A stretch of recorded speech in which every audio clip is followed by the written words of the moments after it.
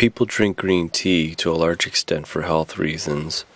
Contamination of Japan's foods, including tea, is a very serious problem that will last for generations in some areas, especially since TEPCO has not brought the meltdowns under control.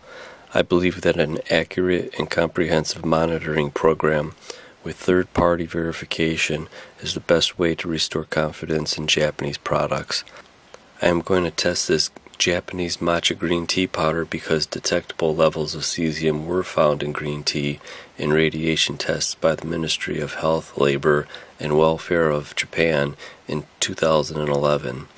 Since radiation can be a very tricky thing, radiation fallout literally falls from the sky, which can result in spotty radiation levels that are dependent upon weather conditions to move the radiation in the atmosphere. Also, since it is impossible to see, one way to detect the radiation is through radiation detectors. I believe I detected either radioactive iodine or cesium in this matcha green tea powder.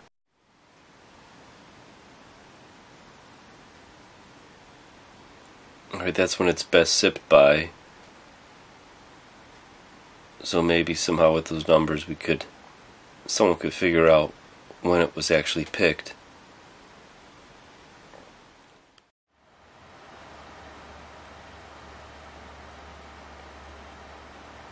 Here's the matcha tea.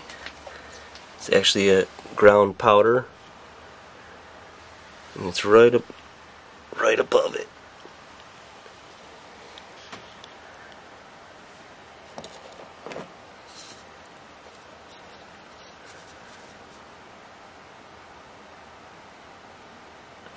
Now this is a shade grown tea from Tencha leaf.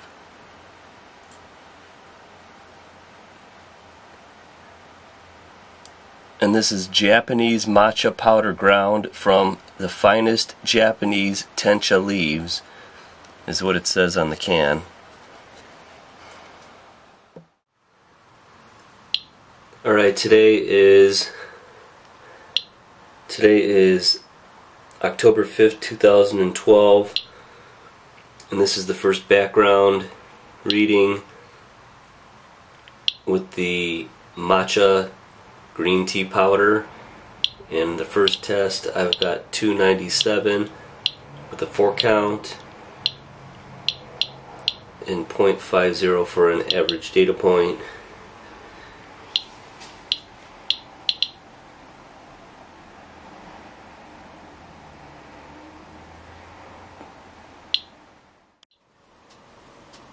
test tube background on the matcha powder 324 for a count 4 count high 0.50 0.54 count.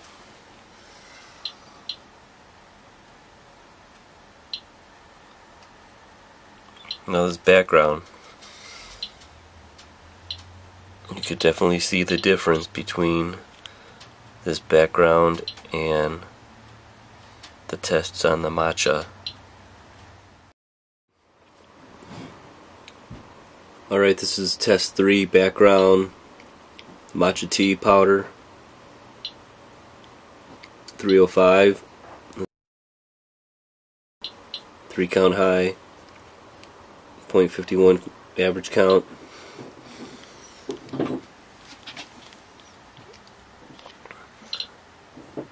and there's a very typical background reading. Where you can see it's all down almost on the ground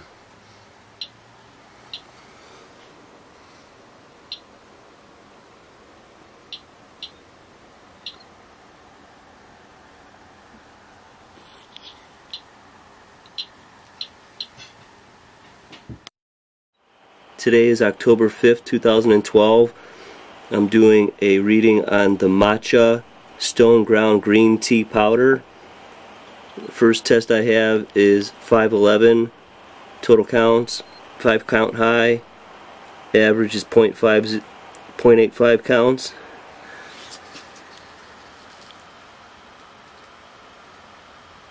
There's the graph. Looks pretty busy. Definitely way above background, so I'm pretty suspicious about this matcha powder. Test 2 551 5 count high on the ground matcha powder.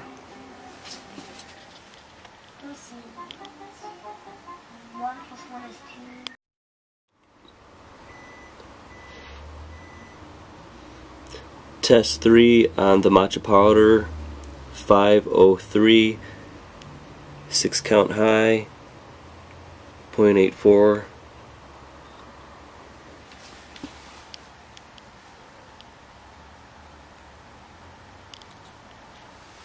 That's the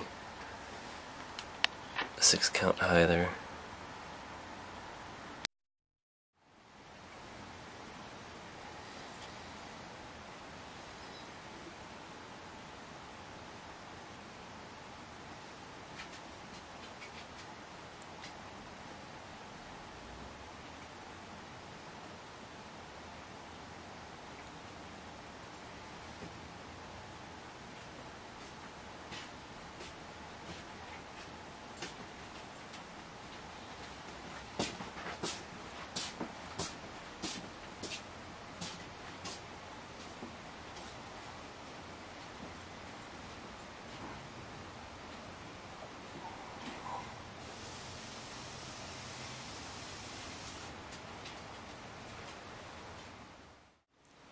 Alright, here's the matcha tea here.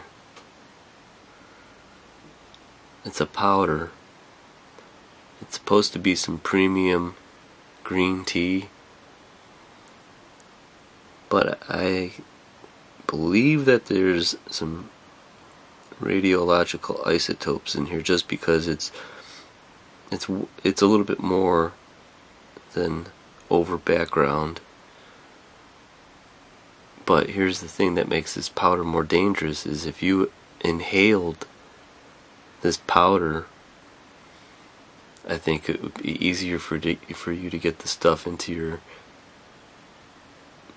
into your sinuses and into your bloodstream. So I'd be very careful with this powder. very fine.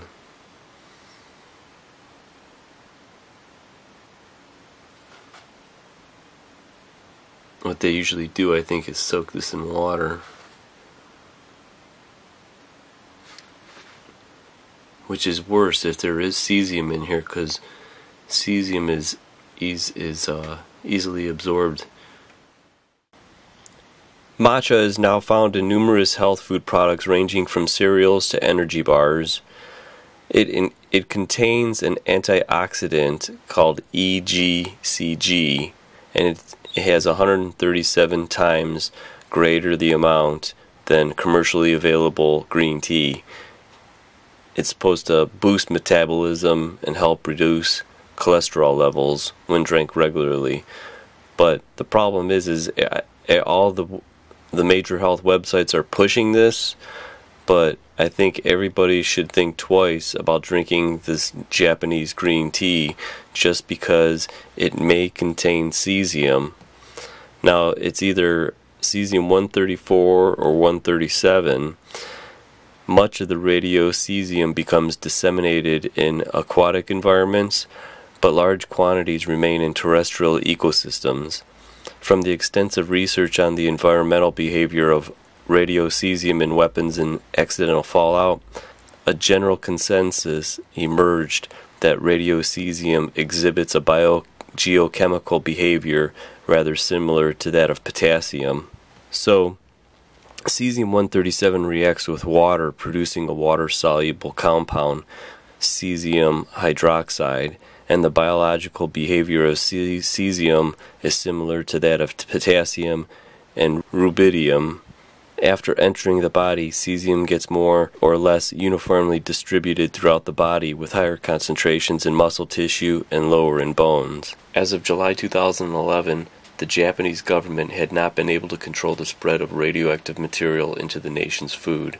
As a result, radioactive material had been detected in a range of produce, including tea leaves, up to 200 miles from the nuclear plant.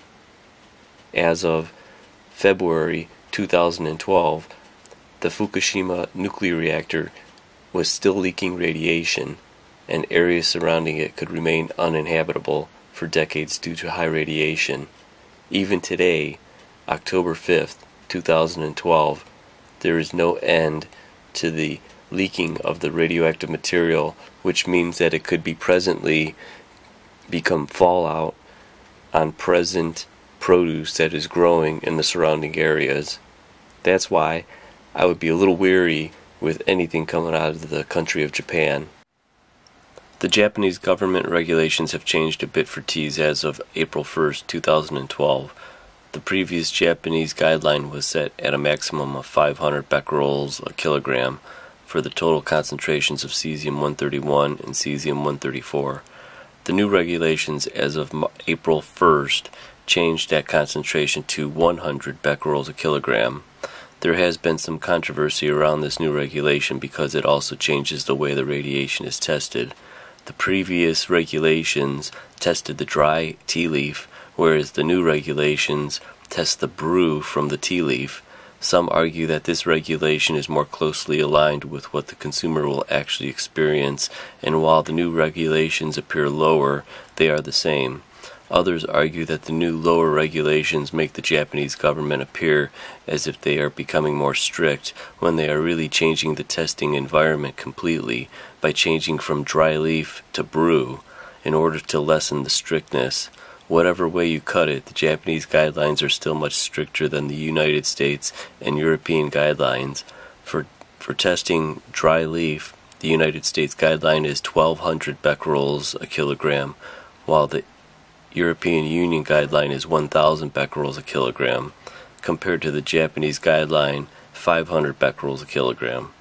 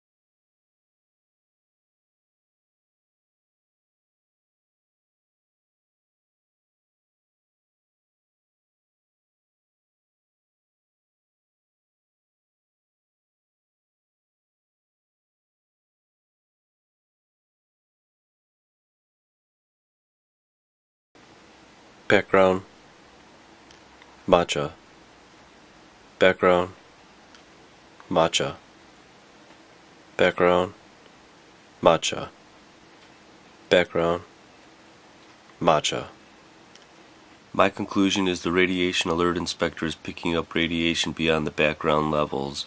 That means that there may be either radioactive cesium or iodine in the matcha powder. Whether it's below the so-called safe standards, I can't tell. What I can say is I stopped drinking green tea for now.